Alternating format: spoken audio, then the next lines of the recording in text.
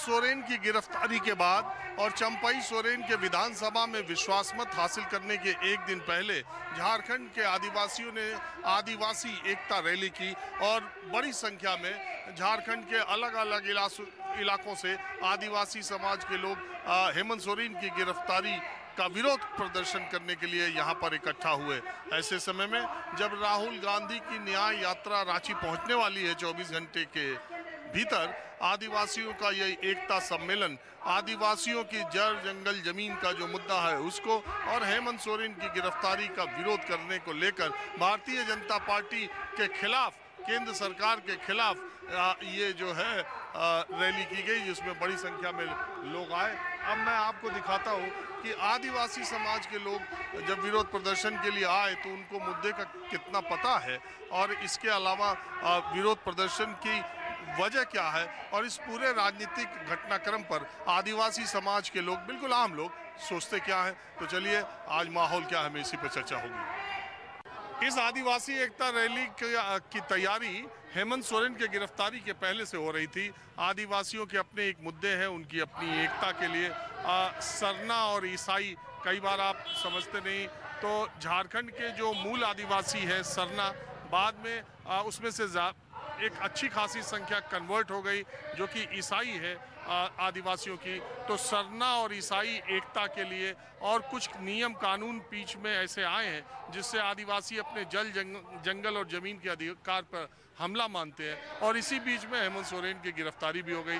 और दूसरी बात आ, मैं तमाम जगहों पर जाता हूँ। अगर आदिवासियों की कोई रैली होती है एकता रैली या कोई भी रैली राजनीतिक रैलियाँ भी तो उसमें महिलाएँ बहुत बढ़ चढ़ के हिस्सा लेती हैं। महिलाओं की संख्या पुरुषों से रैलियों में ज़्यादा होती है। अभी रैली चल रही है उधर शोर ज़्यादा था इधर कुछ महिलाएँ बिल्कुल आ, एक तरफ़ खड़ी थी तो मैंने सोचा यहीं से थोड़ा शुरुआत किया जाए।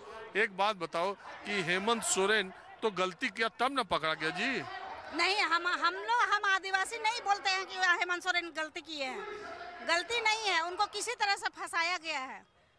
हमको हम लोग आदिवासी कभी नहीं मानेंगे कि वो गलती किए हैं क्योंकि ऐसा नहीं हमारा नेता इतना साफ़ है कि वो जनता देख रही है। उसके बावजूद भी उनको फंसाया जा रहा है। फंसाने से तो बहुत चीज़ इसमें सबसे ज़्यादा हाथ है बीजेपी का।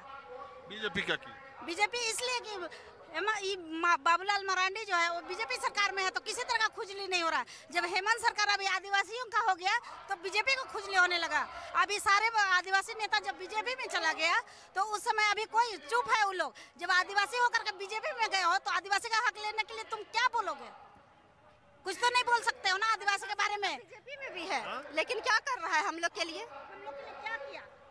बीजेपी में भी तो है हम लोग आदिवासी नेता लोग। लेकिन तो सरकार नहीं थे पाँच साल सरकार थी ना रघुवर दास की। तो वही समय तू का करके गया हम लोग के लिए। हेमंत सोरेन का किया?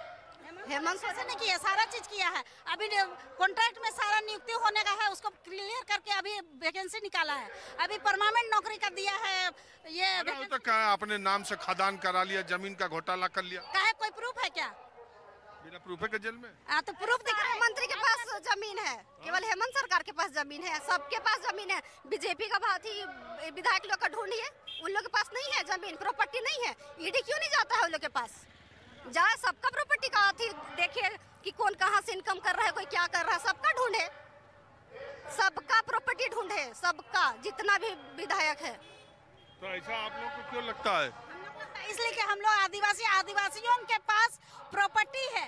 प्रॉपर्टी ये है कि जल जंगल जो है, इतना ज़्यादा है, जो यहाँ का मूल निवासी है, उनके पास प्रॉपर्टी ही प्रॉपर्टी है। सिर्फ़ कैश नहीं प्रॉपर्टी मीन्स ज़मीन, जंगल, सारे खतियानी, भूयारी ज़मीन। तो उसी को चल, के चलते उसको लग रहा है कि सरकार का प्रॉपर्टी को वो अपना प्रॉपर्टी बना लिए, जबकि ऐसा कुछ भी नहीं है। अच्छा एक बात बताओ, आप बीजेपी को बोल रहे थे बीजेपी आदिवासी को राष्ट्रपति नहीं बनाया? राष्ट्रपति बनाया तो शासन क्यों नहीं? हम लोग का इज़्ज़त ही लागू क्या नहीं कर देती है? ये क्या बोलते हैं? सरना कोड। गया है ना केंद्र में? केंद्र में तो गया है हम लोग का पेपर यहाँ से रही करके। बीजेपी को कर बीजेपी जो है वो करने नहीं दिया जा रहा। है वो हमारी राष्ट्रपति है वो है वहाँ बैठे हुए लेकिन उनको करने नहीं दिया जा रहा। आखिर हम लोग भी जानना चाहते हैं क्या कारण है जो सरना कोड हम लोग को ना लागू नहीं हो रहा? इसी के लिए आज हम लोग इतना जो महारैली हो रहा है तो उसमें आदिवासी कोड के लिए ही रैली आप नेता है? जी? आप नेता है कि नहीं हम लोग आम जनता है आम जनता है। कोई नेता नहीं। आम जनता है। आम अब इतना कैसे जानती हो? अरे पढ़े लिखे हैं हम लोग। नहीं जानकारी रखेंगे। नहीं रखेंगे जानकारी। हम लोग पढ़े लिखे हैं। पढ़े लिखे हैं। क्यों? पेपर नहीं आता है। पेपर नहीं देखते हैं। I am M B M B yes अरे तो मोदी जी तो बोलते हैं कि हम आदिवासियों के लिए बहुत काम कर रहा है। कुछ नहीं, सिर्फ़ मुँह है ना, बस मुँह ही में है उसका, और कुछ नहीं कारण नहीं है। क्या किए हैं, क्या किए हैं? आखिर कॉन्ट्रैक्ट में वैकेंसी क्यों निकालते हैं? जब परमानेंट है यहाँ झारखंड में सारा कुछ है तो कॉन्ट्रैक्ट में क्यों? क्यों यहाँ से झारखंड का बच्चा बाहर जा रहा है? आखिर क्यों? मोदी सबको बोल रहा है, अभी राम मंदिर बनाया। वो धर्म विरोधी नहीं बोल रहे हैं हम, लेकिन राम मंदिर बनाया। हमारे सरकार के लिए, झारखंड सरना के लिए क्या किया? चल रहा है। हम लोग का बहुत दिन से लड़ाई चल रहा है तो हम लोग क्यों नहीं मिल रहा है?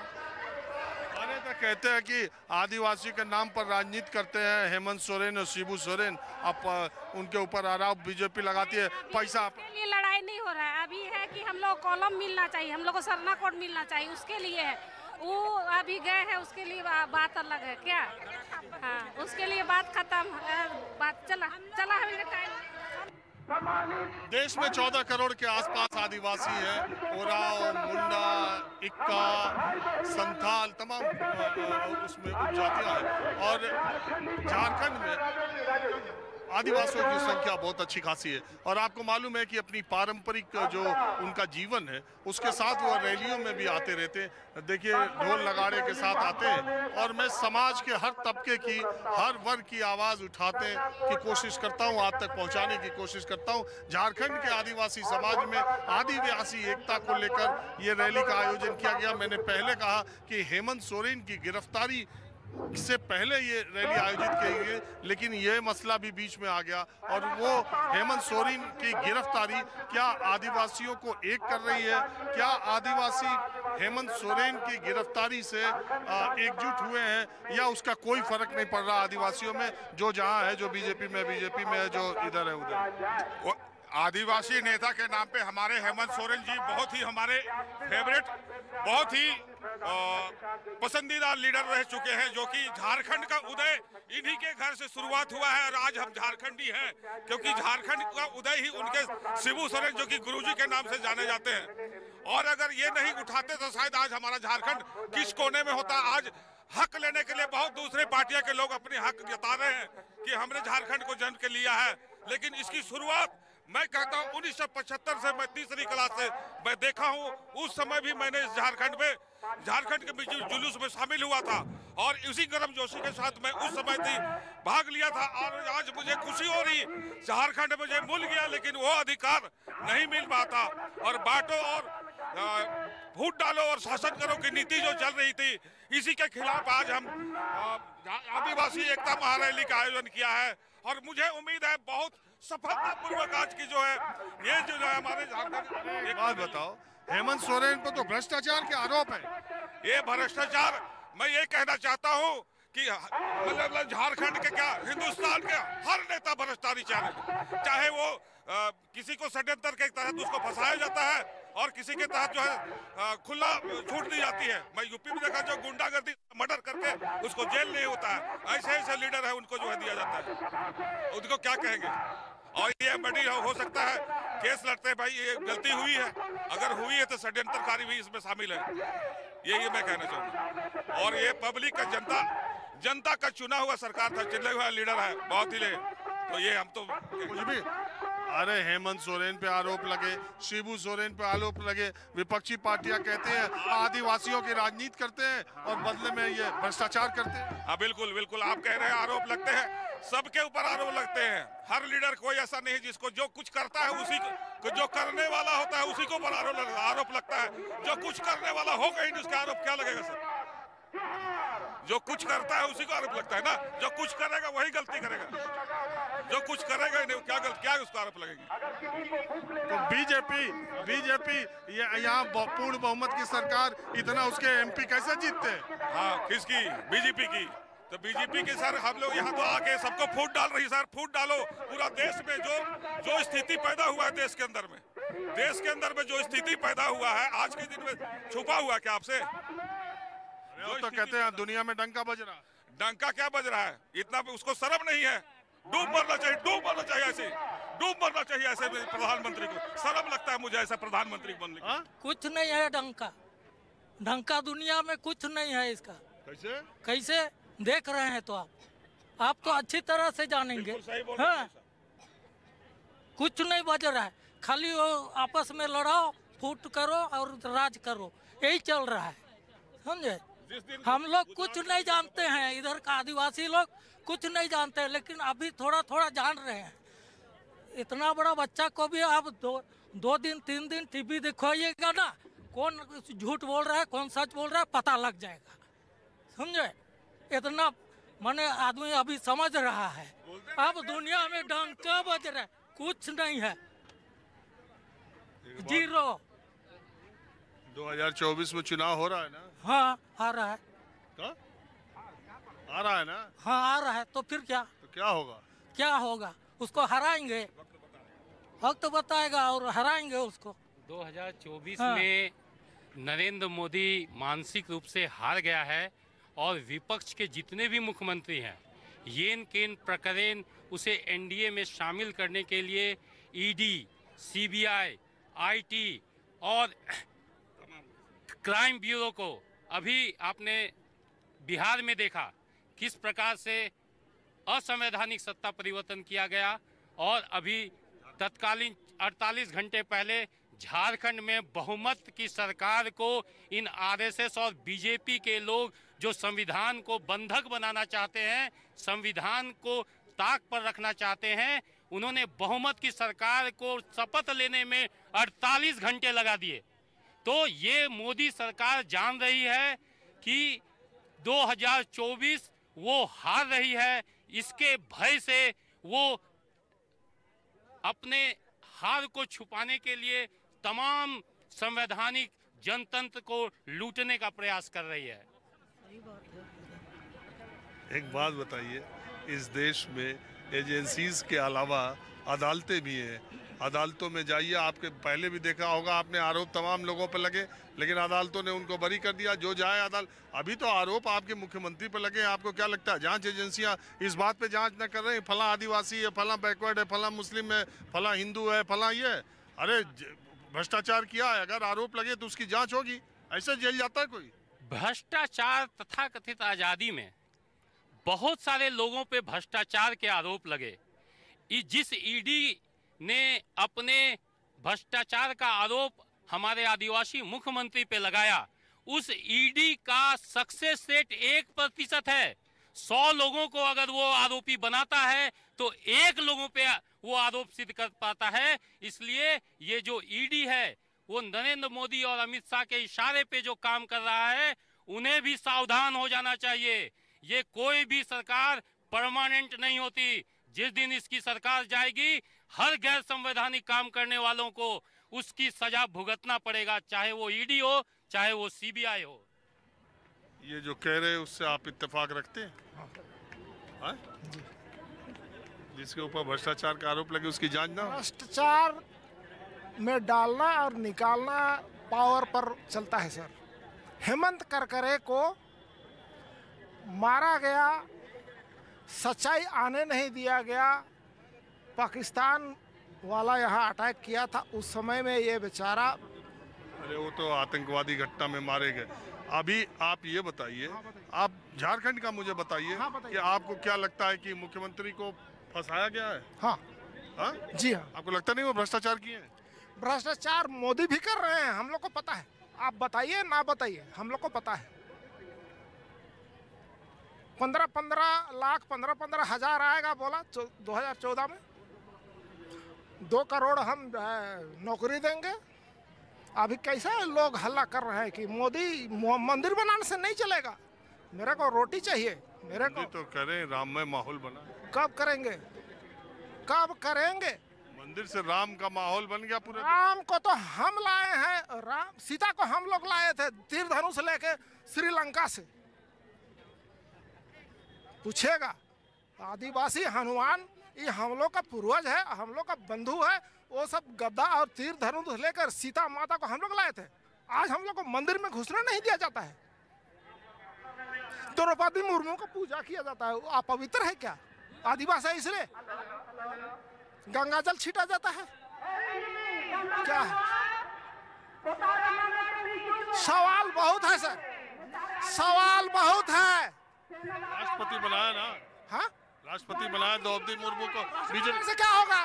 रबर का स्टैम्प है वो। रबर का स्टैम्प है। उसको ताकत कुछ नहीं है। ताकत कुछ नहीं है। इसके पहले के राष्ट्रपति वो इसके पहले के राष्ट्रपतियों को बहुत ताकत थी। थी? यूज़ नहीं करने देता है। यूज़ करने नहीं देगा। जब तक आदिवासी राष्ट्रपति पहला कौन बनाया आदिवासी आदिवासी राष्ट्रपति तो हम इसी को देख रहे हैं। द्रौपदी को द्रौपदी मुर्मू को जान रहे हैं। तब हाँ? तब बीजेपी ने किया कि नहीं? सर बोला ना मैं रबर स्टैम्प बनाने से नहीं चलेगा। इधर अंबानी अडानी को पैसा देते जा रहे हैं जल जंगल ज़मीन लूटते जा रहे हैं। उसके पाँच साल रहेगी ना हमको क्या मिला? हमको मेरा बाल बच्चा को मेरा ज़मीन को इसको नौकरी देगा बचा लगा हमको। जाओ ना यार। हाँ। चलो ठीक। मेरा ज़मीन जंगल सब लुटा रहा है। एक और राष्ट्रपति बना दिए पाँच साल के बाद खदेड़ दीजिएगा कोई नहीं पूछता है। चलिए ठीक है जरा कुछ और लोगों से बात करता हूँ। है। चाइनीज़ डिश नूडल्स ने गाँव गाँव देहात देहात हर तरफ़ अपनी पहचान बना ली है। मैं इधर से गुजर रहा था तो मैंने देखा ये आदिवासी बहनें सारी की सारी बड़ी चाव से नूडल्स खा रही हैं। क्या खा इसको क्या बोलते हैं बताओ? हम लोग चाउमीन बोलते हैं। आप लोग घर में भी खाते हो? नहीं सर हम लोग को नहीं मिलता है घर में सब। आप बताओ क्या खा रहे हो? चाउमीन हाँ? चाउमीन खा रहे हैं। तो आप कब कितनी बार आप इसको खाएँ? हाँ? दूसरी बार खा रहे हैं। अच्छा लगा आपको? अपने खाने से अच्छा लगा? हाँ थोड़ा तो साग सब्ज़ी है ना तो ठीक है। साग सब्ज़ी मिलाया हुआ है। सब्ज़ी मिलाया है इसमें। अच्छा। इसलिए अच्छा लग रहा है तो खा रहे हैं। नहीं आप एक बात मुझे मैं ये ये इसलिए मैं कह रहा हूँ कि आप लोग तो इतना शुद्ध और प्राकृतिक साग सब्ज़ी खाने वाले लोग ये उतना ही मसालेदार और सारी चीज़ें रहती है। कभी कभी मन करता है सर। कभी कभी मन करता है। और आप आई कहाँ से बुड़मू से। हाँ? बुड़मू। से? तो आप लोग किस लिए आई हैं आपको मालूम है? जी हाँ। क्या हमको आदि दर, आदिवासी का दर्जा मिले इसलिए आए हैं यहाँ पर। तो आदिवासी दर्जा तो है ही। हाँ तो क्या बोलेंगे हम लोग को आदिवासी नहीं बोला जाता है। हम लोग धर्म मानते हैं ईसाई जिसलिए बोलता है कि लोग आदिवासी नहीं है लेकिन हम आदिवासी हैं धर्म मानते हैं ईसाई।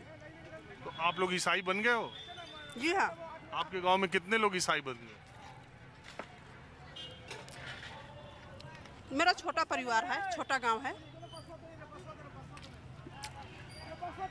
पचास परिवार। तो सबके सब बन गए ईसाई हाँ। कब बने थे? ये बहुत पहले हम जन्म भी नहीं लिए थे उस समय। तो अब स, आपके गाँव में सरना नहीं बचे? बचे हैं कुछ। तो क्या जो लोग ईसाई में हो गए आदिवासी उनको ऐसा लगता है कि उनके साथ कुछ हाँ? हाँ? क्यों? जो लोग ईसाई हो गए आदिवासी उनको कुछ लगता है? हाँ कहे नहीं लगेगा हम आदिवासी है बोल के। भाई, तो।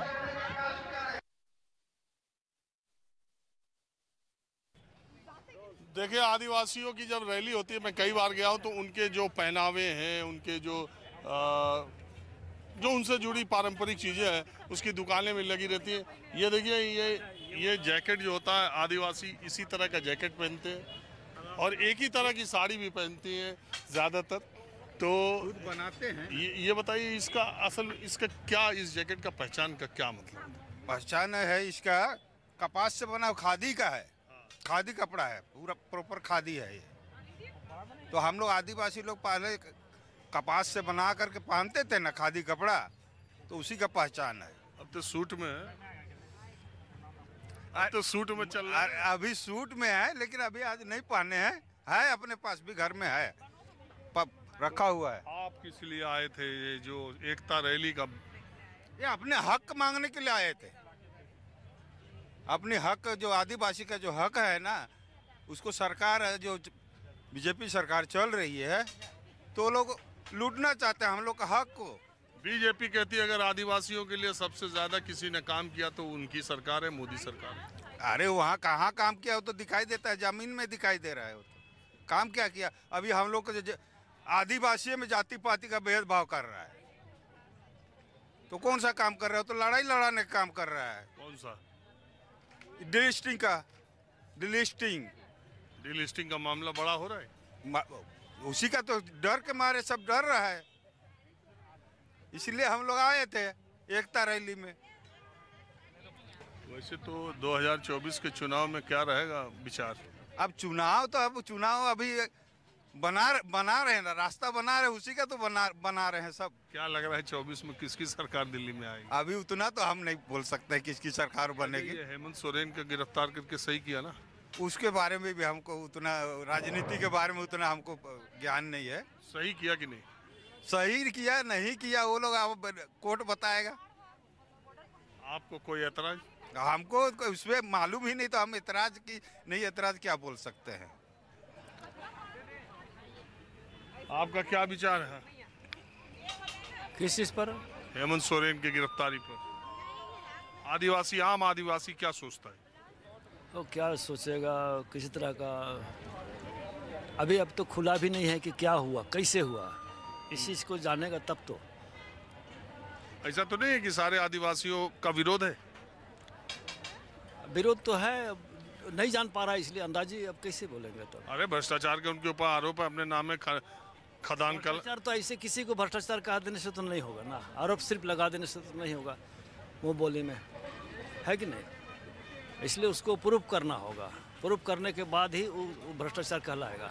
अच्छा ये 2024 में झारखंड में जो चुनाव होने जा रहा है लोकसभा का दिल्ली के लिए आपको क्या लगता है? देश का प्रधानमंत्री अगला कौन बनने का अगला जहाँ तक आदिवासियों के बीच का बात है उम्मीद है कि कम संख्या होगा बीजेपी का। हाँ? बीजेपी का संख्या कम होगा। आदिवासी वोटों के लिए उनको राष्ट्रपति बना दिया द्रौपदी मुर्मू को और आप अभी। अब वो तो संविधान की तरफ़ से गया है ना वो क्या बोलते हैं? हम्म, सांसद की तरफ़ से गया है वो लोग चुन के अपने वो लोग भेजा है। अपने तरफ़ से अपने मंतव्य की तरफ़ से भेजा है और किसी का तो राय उस पर लिया नहीं लिया गया है। अब तो इसलिए वो सत्ताधारी जो पार्टी है अच्छा राष्ट्रपति बनाने से द्रौपदी मुर्मू को आदिवासी समाज में कैसा संदेश गया है? लोग इसको लेते हैं एक प्राइड का विषय कि हमारे समाज से वहाँ तक पहुँचाने का काम बीजेपी ने किया है? कि इसकी चर्चा नहीं करते?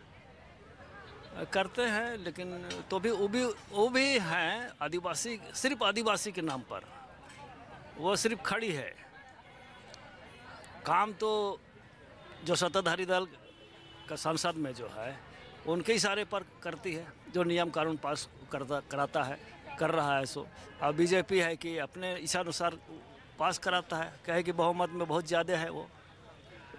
तो मोदी जी का हैट्रिक आएगी कि नहीं? उम्मीद तो कम लगता है। चलिए अब कुछ और लोगों से बात करता हूँ। मैं ऐसे ही टहलते घूमते रांची की सड़कों पर आज आदिवासी एकता रैली में आए। आदिवासी समाज के लोगों से बातचीत और माहौल जानने के लिए निकला था तो दयामणि बारला जी मिल गई, जिन्हें झारखंड की आयरन लेडी के तौर पर जाना जाता है। विस्थापितों के लिए एक बड़ा आंदोलन भी इन्होंने चलाया। समाज सेवा में अपना पूरा जीवन खपा दिया। दयामणि जी, मेरा ये मान, मेरा ये पूछना है कि ऐसे समय में जब सत्ता पक्ष लगातार ये दावा कर रहा है कि उसने आदिवासी समाज के लिए जो अभी तक किया पिछले सत्तर सालों में अ, सालों में सरकारों ने नहीं किया। ऐसे समय में आदिवासी समाज की एकता रैली में ये कहना कि उनके बीच फूट डाली जा रही है इसका क्या मतलब माना जाए? देखिए आदिवासी एकता महारैली बुलाई गई थी जिसमें झारखंड के कोने कोने से जिस तरह से गाँव घर से खेत खलिहान से लोग निकल के आए थे, ये जनसैलाब कहीं ना कहीं ये सवाल लेके आई थी और जो आप सवाल कर रहे हैं, एकता की बात तो ये देश का दुर्भाग्य है। मैं राज का केवल नहीं कहूँगी और आदिवासियों का दुर्भाग्य केवल नहीं कहूँगी। पूरे देश का दुर्भाग्य है कि इस देश में जहाँ भी आप जाइए आप पर्यावरण का बात करेंगे जंगल ज़मीन का बात करेंगे तो ये देश का इतिहास है विदेश का इतिहास है कि आदिवासियों ने खूंखार जंगली जानवरों से संघर्ष करके जंग, ज़मीन को जंगल को आबाद किया है। झारखंड की भी यही कहानी है। और ये जो झारखंड की धरती को अगर आबाद करने की बात कही गई है तो आदिवासी एकजुट थे एक साथ थे। तभी खूंखार जंगली जानवरों से संघर्ष कर पाए थे। और उसके बाद जब हम देश की आज़ादी की बात करेंगे तो 1700 ईस्वी से लेके लगातार अंग्रेज़ों के खिलाफ में सिद्धू कानू चाँद भैरव, तिलका मांझी, वीर बुद्धू भगत से लेके बिरसा मुंडा तक की लड़ाई। सब संगठित होके ही लड़ाई लड़ा था। और देश की आज़ादी में बढ़ चढ़ के यहाँ झारखंड के आदिवासियों ने हिस्सा लिया था, देश आज़ाद हो गया। उसके बाद आदिवासियों को ये महसूस हुआ कि देश आज़ाद होने के बाद भी हमारा जो पारंपरिक अधिकार है, जल जंगल ज़मीन जिसको हमने आबाद किया है, उसमें हमारी सामुदायिक अधिकार जो है, वो छीना जा रहा है। हमारा जो स्वच्छता है, वो छीना जा रहा है, उस पर हमला हो रहा है। तो झारखंड अलग राज्य की मांग की गई और झारखंड अलग राज्य के लिए फिर से संगठित होकर आदिवासियों ने लड़ाई लड़ा। और संघर्ष, हज़ारों लोगों ने शहादत दिया। उसके बाद झारखंड अलग राज्य बना। झारखंड राज्य बनने के बाद 24 साल हो गए। लेकिन आज की तारीख में हमारा जो संवैधानिक अधिकार है सीएनटी एक्ट है एसपीटी एक्ट है, विल्सन किल्सन रूल के तहत में जो कोल्हान के आदिवासियों को अधिकार मिला है जल जंगल ज़मीन पर, आप संथाल परगना के आदिवासियों को छोटनागपुर संथाल परगना कस्करी अधिनियम के आधार पर मिला है, पेशा कानून में अधिकार मिला है, वो तमाम अधिकार खत्म किए जा रहे हैं विकास के नाम पर और यहाँ पर। मैं बताना चाहती हूँ, हम लोग विस्थापन के खिलाफ लगातार लड़ाई लड़ते आए हैं। आज़ादी के बाद आज तक पाँच करोड़ से ज़्यादा आदिवासी विस्थापित हुए हैं, बीस लाख से ज़्यादा एग्रीकल कल्चर लैंड और फॉरेस्ट लैंड को ऑलरेडी डिस्प्ले डिस्ट्रॉय हो चुका है। अब ये चौबीस साल के बाद अब देख रहे हैं कि आदिवासियों के धर्म के नाम से भी लड़ाने का काम कर रहा है। यूसीसी लाया जा रहा है। सीएए लाने के लाने का काम किया गया। और अभी यहाँ पर कह रहा तो कहती है कि सीएए घुसपैठियों के लिए। नहीं घुसपैठियों के लिए नहीं। अब यहाँ पर सीए को आप देखेंगे तो जो भी घुसपैठी है, या तो यहाँ के आदिवासी मूलवासी, यहाँ पर हम किसानों की बात करेंगे, यहाँ पर मजदूरों की बात करेंगे। मजदूर कहाँ से आपका सर्टिफिकेट अपना जुगाड़ करके आपको संतुष्ट कर सकेगा कि हम यहाँ के नागरिक हैं, भारत के नागरिक हैं? अब ये जो यहाँ पर झारखंड में पाँचवें अनुसूची को वायलेट करके यहाँ पर लैंड बैंक बना दिया गया। कभी आप लोगों ने ज़िंदगी में सुना था लैंड बैंक का? हम लोग इतना ही जानते हैं पाँचवें अनुसूची क्षेत्र में और ये ग्राम सभा के भीतर में सीएनटी एक्ट में एसपीटी एक्ट में फॉरेस्ट राइट एक्ट में। गाँव के भीतर का तमाम जो जंगल है, ज़मीन है, नदी है, झील है, झरना है, गाँव का सामुदायिक संपत्ति है। लेकिन जिस तरह से केंद्र की सरकार ने यहाँ अडानी अंबानी को पूरे धरती को देने के लिए मोनेटाइजेशन कॉरपोरेशन भी लाई है आप लोग जानते हैं। अब उनको सारा चीज़ को बेचने के लिए वो एक से एक कानून ला रही है। तब ऐसे परिस्थिति में हम जंगल बचाने हम खतियानी हैं आदिवासी खतियानी हैं तो ये बात को बोलने के लिए कि जिस तरह से धर्म के नाम से आप बांट रहे हैं तो सारे लोग हम लोग खतियानी है हम लोग एक साथ रहेंगे और एक साथ रह के झारखंड को बचाएँगे। चुनाव के लड़ाई चुनाव के ठीक पहले आपका विरोध बीजेपी से है कि आप आदिवासियों की एकता, आप बीजेपी ने इसी इसी स्टेट को बनाने में, बीजेपी की सरकार में ये स्टेट बनी, वो कहते हैं कि झारखंड को अलग हमने बनाया। सबसे ज़्यादा वक्त तक इस झारखंड में जो आदिवासी बहुल प्रदेश है, इसमें सबसे ज़्यादा वक्त तक बीजेपी का राज रहा। पहली बार मेजॉरिटी इस राज्य में बीजेपी को मिली, उनके सांसदों की संख्या है। अब जब चुनाव आया है तो कहा जा रहा है कि एक माहौल बनाने के लिए हेमंत सोरेन की गिरफ्तारी, भ्रष्टाचार के आरोप में हुई है। उसके लिए आप जो राजनीतिक विरोधी हैं, वो आदिवासियों को बीजेपी के खिलाफ एक करने की कोशिश कर रहे हैं। ये जो आए थे वो मैंने कोई राजनीतिक पार्टी के नहीं थे। ये सारे गाँव के लोग थे जो जल बना जल जंगल ज़मीन की बात करते हैं। यहाँ पर हम लोग जितने भी खड़े हैं हम लोग जल जंगल ज़मीन बचाने का काम पूरा ज़िंदगी भर हम लोगों ने किया। हम लोग ये महसूस कर रहे हैं हम लोग लैंड बैंक के नाम से स्वामित्व योजना के नाम से और ये जो अभी ये क्या, क्या, क्या forest right forest conservation act वगैरह लाके वो सिर्फ़ और सिर्फ़ आदिवासियों के हाथ से बचा हुआ जंगल को, ज़मीन को लूटना चाहती है। तो अब आप बताइए कि बीजेपी की गवर्नमेंट सत्ता में बैठी है, वो ला रहे हैं तो उन्हीं के खिलाफ ना, उनके आइडियोलॉजी के खिलाफ, उनके पॉलिसी के खिलाफ भी ना हम गोलबंद होंगे। तो और अगर आप बोल रहे हैं राजनीति की बात तो आदिवासियों से बड़ा राजनीतिज्ञ कौन हो सकता है? सिद्धू कानू चाँद भैरव 1800 के दशक में वो हमारे गाँव में हमारे राज की बात करते थे, स्वशासन की बात करते थे, तभी ना अंग्रेज़ों के खिलाफ लड़ाई लड़ा। जिस समय की कोई नहीं था, उस समय 1830 जनवरी 30 जून अठारह सौ छप्पन में भोगनाडी में पच्चीस हज़ार संतालियों ने शहादत दिया। राजनीतिक नहीं होते, राजनीतिक जानकार नहीं होते मतलब ज्ञान नहीं होता तो क्या उनके खिलाफ में देश गुलाम है, ये समझ पाते? तो आज हम लोगों से बड़ा राजनीतिक कौन नहीं कोई नहीं है। हम लोग जंगल की राजनीति करते हैं ज़मीन की बार राजनीति करते हैं पर्यावरण बचाने की राजनीति करते हैं। हम लोग ह्यूमन राइट्स का वायलेशन के खिलाफ में राजनीति करते हैं। आप ये हेमंत सोरेन की गिरफ्तारी पर भी कुछ आपकी राय रहती है? हेमंत सोरेन की गिरफ्तारी भारतीय जनता पार्टी ने पूरी तरह से इनजस्टिस किया है। इसलिए किया है कि ठीक है हम लोग इतने सारे लोग स्लोगन देते हैं, भ्रष्टाचार मुक्त देश बने। आप हमको बताइए 2001 में राज बना यहाँ? आप खुद कह रहे हैं कि 24 साल में सबसे ज़्यादा राज भारतीय जनता पार्टी ने चलाया। लेकिन आज की तारीख में ईडी भारतीय जनता पार्टी के एक कार्यकर्ता के घर में क्यों नहीं जा रही है? भारतीय जनता पार्टी के नेताओं के घर में ईडी क्यों नहीं जा रही है? भारतीय जनता पार्टी का मंत्री भी रहा संतरी भी रहा सारे लोग संसद और विधायक रहे।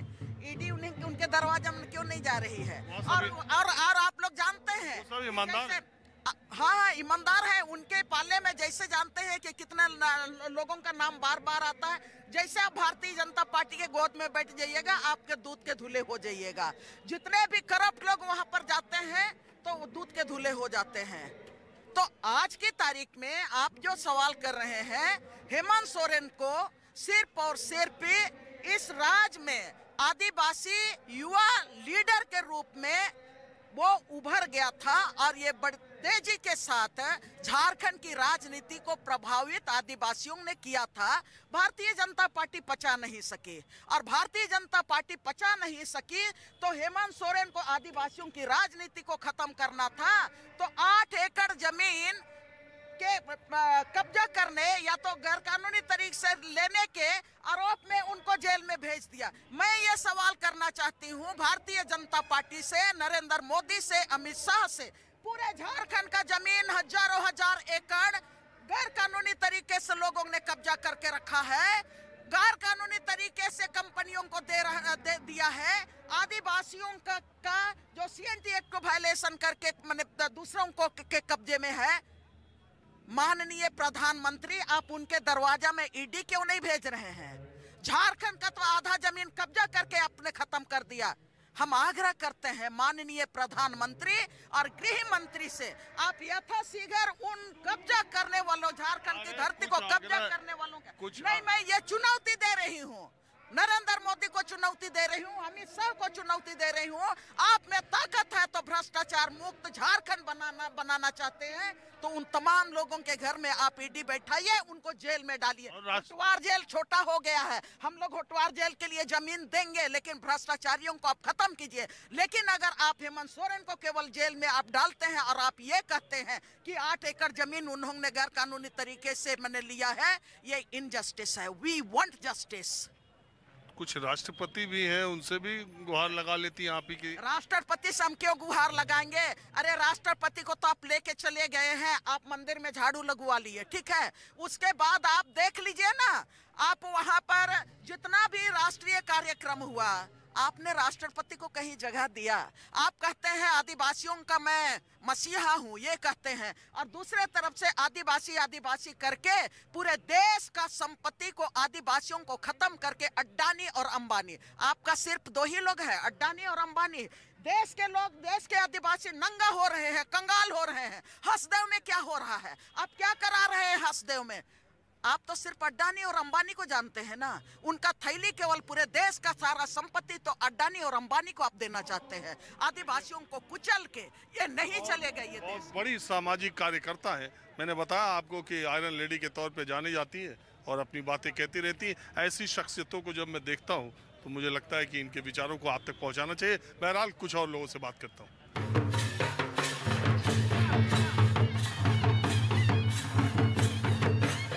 देखिए झारखंड में कोई भी राजनीतिक कार्यक्रम हो सामाजिक कार्यक्रम हो वो अपनी पारंपरिक वेशभूषा अपने लोक नृत्य अपने अ, सारी जो सांस्कृतिक उनकी पहचान है उसके साथ आते हैं। ये पाइका नृत्य कर रहे हैं झारखंड के लोग और इसको एक अलग तरीके से किया जाता है जिसमें ढाल भी होती है पर्ची भी होती है तलवार भी होती है।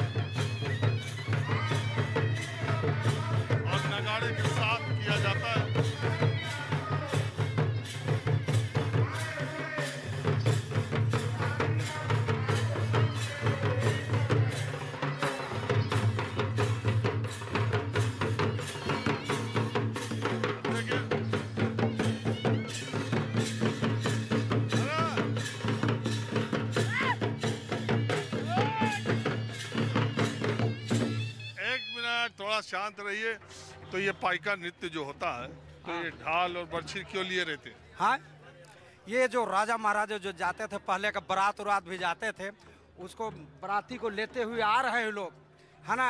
और हम लोग जो है सो इसको रक्षा करने के लिए अगर वहाँ से कन्या मियाँ विदा होके आ रहे हैं तो उसको हम लोग राजा महाराजा घर में जो है सो हम लोग जाते थे और वहाँ से कन्या मैया को डोली चाहे तो पालकी बोलिए वहाँ से हम लोग वहाँ नाच बजा करते हुए और आते थे। ये रक्षा करने के लिए हम लोग ढाल है तलवार है बाँचने के लिए वो भी है। तो अभी आप लोग करते हैं? बारात और रात जाती है तो ऐसा डांस हाँ, करते हैं। हम लोग करते हैं। हम लोग को जहाँ भी बुलाया जाता है वहाँ जाते हैं नाचते हैं देखते हैं। उसके बाद में जहाँ से कन्या मैया को वहाँ से विदा करके लेते हैं तो करीब दूर तक हम लोग ले जाते हैं नाचते देखते वहाँ तक। उसके बाद में गाड़ी उड़ी में बैठते हैं उसके बाद में फिर विदा होकर। हम लोग भी आज का नियम है तो हम लोग भी गाड़ी उड़ी में निकल जाते हैं। यही बात है। तो अब नए लोग भी कर रहे हैं कि अब धीरे धीरे प्रचलन कम हो रहा है। नहीं हम लोग तो अभी तक बचा रखे हैं और आगे बढ़ाते ही जा रहे हैं और जहाँ तक है कोशिश कर रहे हैं कि बढ़े लेकिन घटे मत यही जा रहे हैं। तो हम तो हाँ जी आप कुछ बोलना चाहते हैं? नहीं भैया बात ऐसा है हम लोग का आज का विशेष रैली था है ना? एक षड्यंत्र के तहत हम लोग के जो रचना रचा जा रहा है, उसके खिलाफ था और हम लोग सब भाई बहन एक है, कोई हम लोग को अलग नहीं कर सकता। मेरा यही कहना है। यहाँ बोलना चाहेंगे। देखिए, ये नृत्य जो था हमारा, इसको पाइका नृत्य कहते हैं। झारखंड का लोक नृत्य है। पाइका नृत्य, ये पुरुष प्रधान नृत्य है और इसे सैनिक वेशभूषा धारण किया जाता है।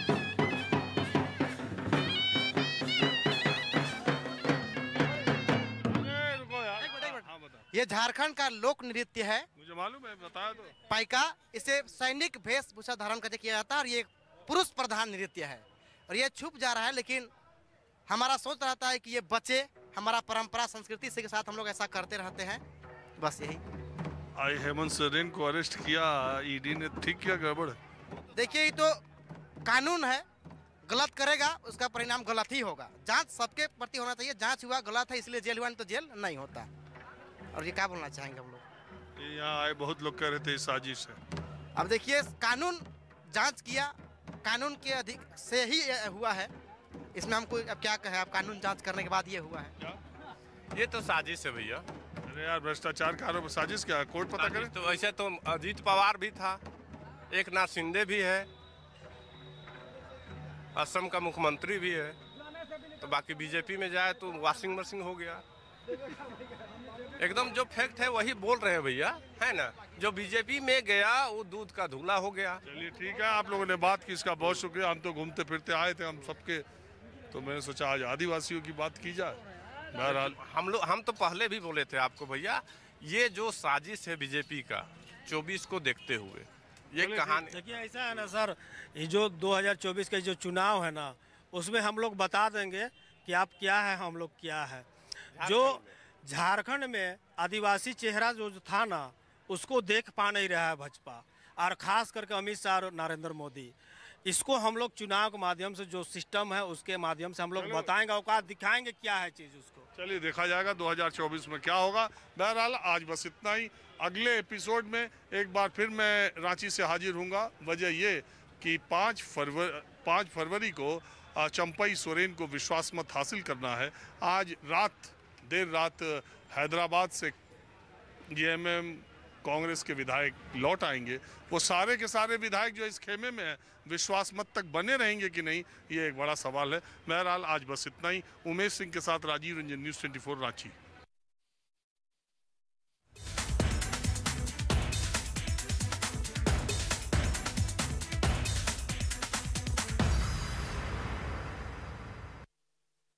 जिसके मन में प्रेम और करुणा हो मेरे हृदय पर होगा सिर्फ़ उसका अधिकार। की प्रजा के रक्त से करूँगा। जिसके नाम में विश्वास और न्याय की छवि हो उससे जुड़ेगा मेरा नाम। काँप उठेगा इतिहास। जब जब लेगा मेरा नाम। पर तकदीर लिखने वाली थी वो